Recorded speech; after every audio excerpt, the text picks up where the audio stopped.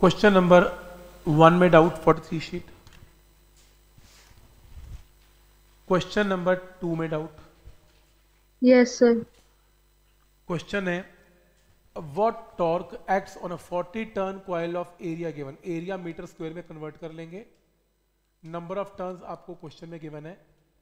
Current की value आपको question में गिवन है. With its axis at right angle to uniform magnetic field of point two तो ये कॉइल है इस कॉइल का जो एक्सिस है, वो क्या होगा? ये एक्सिस है। एक्सिस कहाँ से पास करता है? सेंटर से। तो ये एक्सिस मैग्नेटिक फ़ील्ड के साथ एंगल क्या बना रहा है? 90 ये तो कह रहे ना एक्सिस जो है, वो एंगल्स 90 परपेंडिकुलर राइट एंगल बना रहा है तो यूनिफॉर्म मैग्नेटिक फ़ील्ड तो ये एक्सिस बी के साथ, मान लो बी इस तरफ़ है और एक्सिस ये रहा। तो एरिया वेक्टर है बेसिकली एक्सिस कुछ नहीं एरिया वेक्टर तो एरिया वेक्टर अगर बी के साथ एंगल बना रहे हैं तो फॉर्मूला साइन का लगेगा तो N B I A sine 90 तो टॉर्क ऐसे केस में मैक्सिमम लगेगा। तो N B I A sine 90 से टॉर्क की वैल्यू मैक्सिमम है आंसर आ गया। क्या ये पॉइंट क्लियर है ऑनलाइन क्लियर है? Yes, sir. Question number three में doubt sir. a square shaped plane of area given and turns given area or number of turns given है, carries a current of 5 ampere. It is placed in uniform magnetic field of 0.2 tesla acting perpendicular to the plane of the coil. तो क्या बोला उसने? कि area vector given है।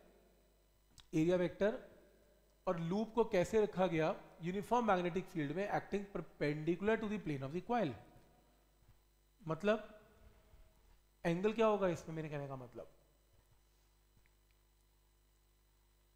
theta 90 होगा। Theta 90 होगा yes कि नो? थीटा किसके बीच में? लूप में और मैग्नेटिक फ़ील्ड में? Yes Yes, sir. देखो वो ये कह रहा है कि ये लूप है। लूप को परपेंडिकुलर मैग्नेटिक फ़ील्ड में रखा गया ऐसे। तो मैग्नेटिक फ़ील्ड परपेंडिकुलर है लूप ऐसे है। तो लूप में और बी में एंगल क्या है? 90 तो N B I A cos 90 answer क्या आएगा? ज़ीरो। पहले पार्ट का आंसर ज़ीरो है। इसमें आंसर लिखा नहीं, वैसे ज़ीरो आएगा। दूसरा पार्ट है कि अगर मान लो कॉइल के प्लेन ने एंगल 60 डिग्री बनाया विद डायरेक्शन ऑफ़ फ़ील्ड तो कॉइल का प्लेन ये ना, इस प्लेन ने बी के साथ एंगल क्या बनाया? 60 तो लूप ने एंगल बनाया 60 तो परपेंडिकुलर ने कितना बनाया? 30 तो अगर लूप ने 60 डिग्री एंगल बनाया तो टॉर्क का फॉर्मूला क्या होगा? N B I A cos 60 या N B I A sine 30 answer. Without इसमें? ठीक है ना? ऑनलाइन सर जो इसका थर्ड पार्ट है वो बता दो in which orientation will the coil be in stable in which orientation will the coil be stable equilibrium? Equilibrium दो किस्म के होते हैं। एक ट्रांसलेशन ट्रांसलेशन का मतलब बॉडी आगे, पीछे, ऊपर, नीचे मूव कर रही। ट्रांसलेशन इक्विलिब्रियम के लिए नेट फोर्स होनी चाहिए ज़ीरो और एक होता है रोटेशनल इक्विलिब्रियम क्या बॉडी टॉर्क तो नहीं जनरेट कर रही? अगर टॉर्क भी जनरेट नहीं कर रही ट्रांसलेशन इक्विलिब्रियम में भी है तो फिर वो पूरी इक्विलिब्रियम में स्टेबल में। तो अब इसमें, अगर मैं इस क्वाइल को कैसे रखूँ?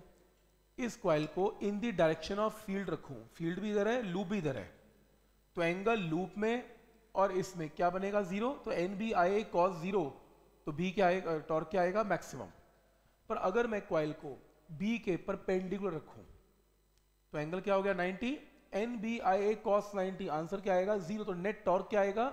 ज़ीरो तो this coil should be line जो क्वाइल है should be lying in the direction perpendicular to the magnetic field तो नेट टॉर्क भी ज़ीरो और टॉर्क में नेट फोर्स तो हमेशा ज़ीरो होती ही है।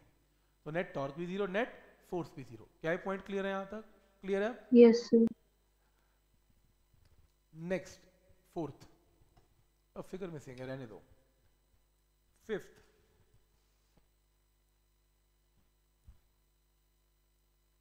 sixth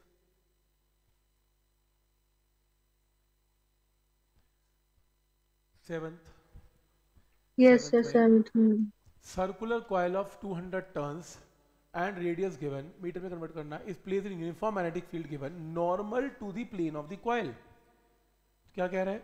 मैग्नेटिक फ़ील्ड लूप के परपेंडिकुलर है। तो बी इधर है तो प्लेन इधर है। तो angle between loop and B क्या है? 90 तो N B I cos 90 torque क्या आएगा? ज़ीरो ऐसे ही हुआ। आंसर ज़ीरो नेक्स्ट है total force on the coil देखो टॉर्क की प्रॉब्लम है नेट फोर्स तो हमेशा क्या आती है? ज़ीरो ही आती है। तो नेट फोर्स की वैल्यू तो ज़ीरो ही आएगी। नेक्स्ट है average force on each electron in magnetic field देखो, जब करंट कैरिंग लूप में करंट है तो उसमें इलेक्ट्रॉन मूव कर रहा है। इलेक्ट्रॉन जो मूव करता है, वो ड्रिफ्ट के साथ मूव करता है। तो आपको इस क्वेश्चन में क्या गिवन है? आपको फोर्स निकालनी है इलेक्ट्रॉन के ऊपर तो F to B Q B और वेलोसिटी यहाँ पर क्या यूज़ करेंगे? ड्रिफ्ट की। तो आपको क्वेश्चन में क्या निकालना है? इसमें फोर्स निकालनी है? ड्रिफ्ट वेलोसिटी क्या होता है? आई बाई एन ए आपको इसमें number of electrons per unit volume भी गिवन है। आपको इसमें एरिया ऑफ़ क्रॉस सेक्शन भी गिवन है। पुट करके आंसर ठीक है यहाँ तक? Yes.